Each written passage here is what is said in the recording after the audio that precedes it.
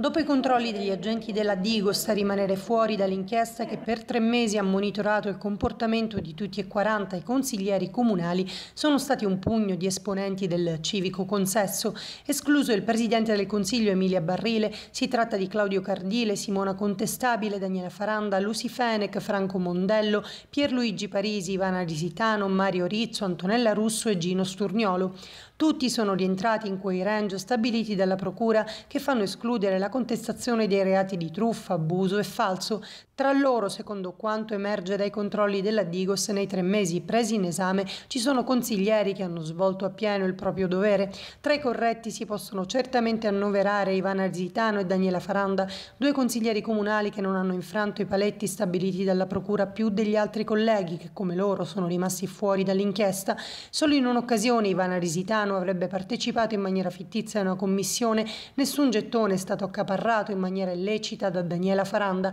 a incuriosire soprattutto il fatto che c'è un abisso politico tra le due, l'una di destra, l'altra di estrema sinistra.